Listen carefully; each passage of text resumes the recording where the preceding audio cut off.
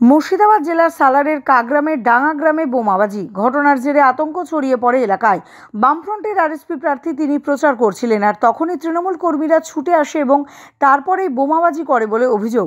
দুই পক্ষ বোমাবাজি করে বলে অভিযোগ। ঘটনার খবর পেয়ে ঘটনাস্থলে পৌঁছয় সালার থানার পুলিশ। আমরা বামফ্রন্টের পক্ষ থেকে বিভিন্ন গ্রামে জেলা পরিষদের প্রার্থীকে নিয়ে আমরা প্রচার করি।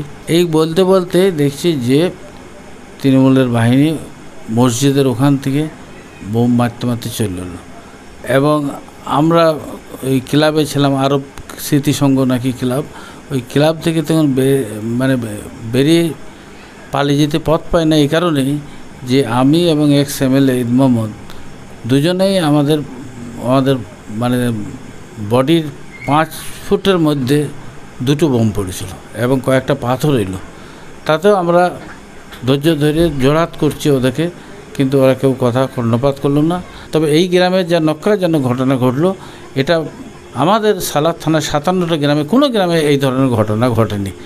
ওই পাড়াতে তো এসেছে দেশে এই পাড়া লোকেরা বলছে গোলাম মাওলা এসেছে ওকে ধর। তখন ওই পাড়া লোকেরা বলছে তাহলে চলে আই দেব নিকট ওদের মারামারি হইল। কারা বলে? এই পাড়ার লোকরা বলে গোলাম মোল্লাকে ধর। হ্যাঁ এই- এই পাড়া ওই পাড়া করে তখন মারামারি লেগে গেল। কঠিন বোম মারামারি মেলা বোম পড়িছে। আমার বেড়াতেই পড়লে আগুন লেগেছিল আমাদের কিছু করার নেই, আমরা গরিব মানুষ। দক্ষিণ দিক থেকে সব বোম চার্জ করতে করতে ওরা চলে আসে। আমাদের গ্রামের অন্য গ্রামের লোক এখানে এসে এবং মলা টলা এসব এসে, সিপিএমের নেতা মোহাম্মদ ওরা এসে আরও অশান্তি গণ্ডগোল এবং বাইরেকার লোক নিয়ে এসে বোম চার্জ করতে করতে চলে আসে। মসজিদ অব্দি বোম চার্জ করে, এলেই বিশাল উত্তেজনা সৃষ্টি হয়।